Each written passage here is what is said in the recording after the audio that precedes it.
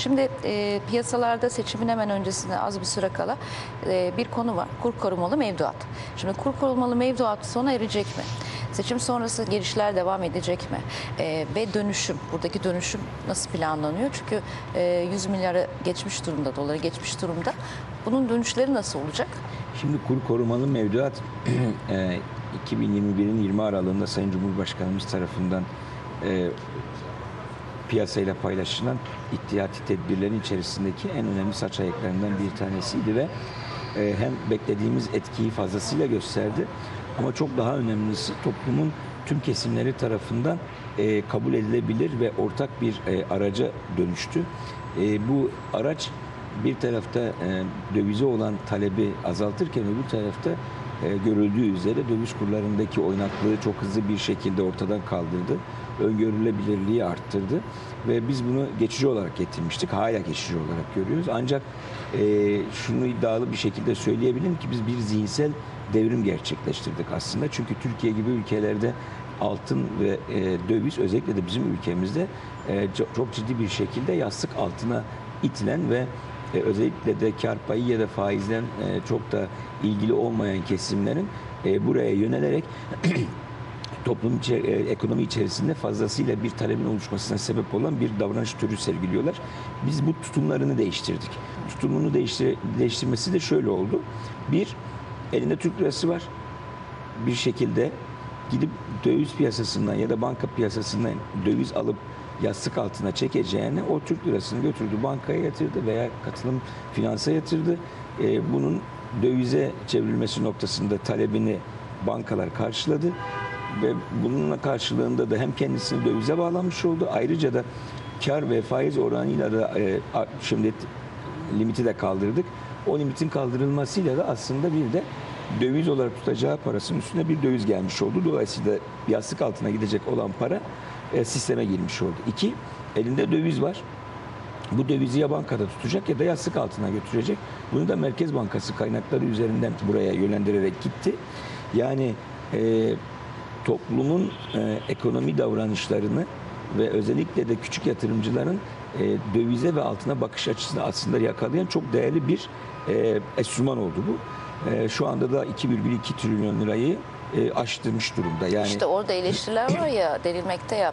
e, şimdi ilk uzatıldıktan ve taban kaldırıldıktan sonra e, insanlar çok oraya KKM'ye gittiler. Ama hani kademeli bir dönüş gerekiyor. Birden bir dönüş olursa dolara bir e, negatif yönlü ya da yukarı yönlü bir etki yaratır mı yaratmaz mı? Hazineye bütçeye bunun e, nasıl bir yükü olur? Şimdi bu, bu çok eleştiriliyor. O yüzden dedim bunun dönüşü, dönüşümlü mü olacak, tekrar uzatılacak mı mesela bilemiyoruz seçim sonrasını.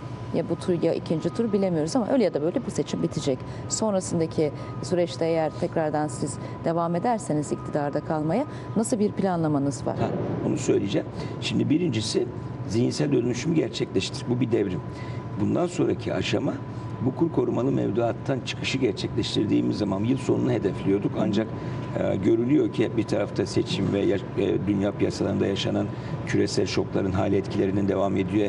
Beklentisi Amerika Birleşik Devletleri'ndeki banka iflasları vesaireyi düşündüğünüz zaman e, bunun 31 Aralık'ta kesin tarih olarak ilan edilmesinden ziyade günün şartlarına uygun bir şekilde dönüşümün kademeli olarak ve zamana yayılmasıyla gerçekleştirilmesi hususunda bir irade ortaya çıkmış oldu. Şimdi bu neyi sağlayacak? E, İkinci e, e, zihinsel dönüşümü e, e, sağlayacak. Ne demek o?